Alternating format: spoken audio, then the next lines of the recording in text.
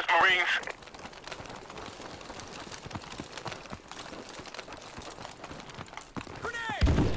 We've taken the